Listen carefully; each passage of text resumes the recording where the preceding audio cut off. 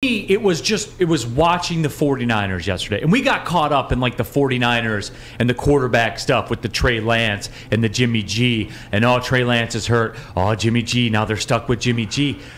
The bottom line through all that I was texting back and forth with Sam Flannel last night.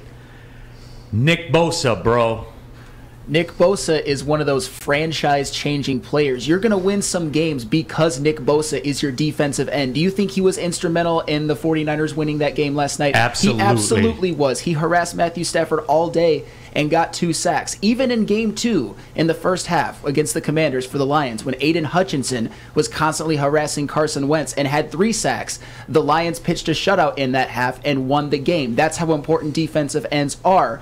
And it also speaks to the fact that for 14 out of the 16 quarters, Aidan Hutchinson has been largely a non factor. As has Charles Harris. As has Charles Harris. And that has severely. I have, to, I have to qualify that all the time or I get labeled a hater. Sorry. Absolutely, but that has severely hurt the Lions defense. I mean, imagine if Charles Harris and Aidan Hutchinson made one play against Seattle. They probably win that game. If they make one play and against force, the Vikings. And force one punt.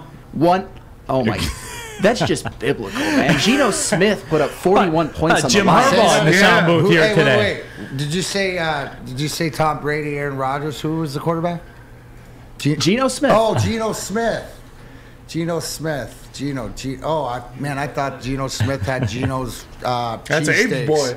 Geno's cheesesteaks in Philly. Yeah. I'm salty Jets says legend. I'm salty too. Uh, I'm salty says uh, our linebacker core is probably the worst in the league. And, and look, guys, Not probably. I, I I get that, and I understand that. But again, the defensive ends and the edge rushers are the quarterbacks of the defense. If they make plays, you can win. Get you can get away with this Yeah. for real. Oh, yeah. guys, for real. I'm being serious, and this is an honest to God take. I honest to God believe this. I think the Lions could get away with it and at least be two and two. Dare I say two and two?